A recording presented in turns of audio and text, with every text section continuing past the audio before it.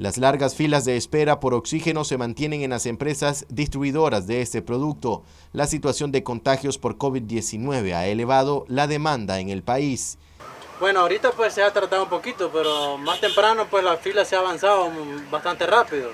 Pero ahorita estamos esperando los números que se acabaron. Sí.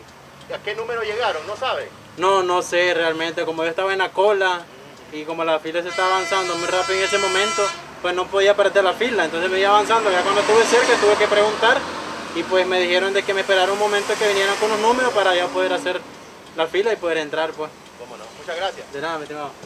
Yo este, desde las ocho y media.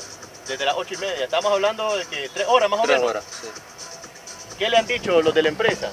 No, este, llevan un orden, pero la fila estaba muy larga desde la mañana. Estaba, yo no estaba aquí, estaba ahí, muy lejos, bastante. Y este, eso depende de la cantidad de tanques que vengan también. Hay personas que vienen por cuatro o cinco tanques y eso es aparte también.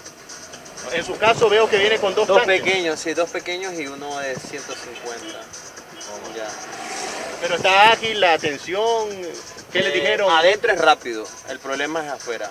Ya adentro supongo que es por las normativas y todo y, y lo del COVID. Por ejemplo, solo una persona puede pasar al retiro.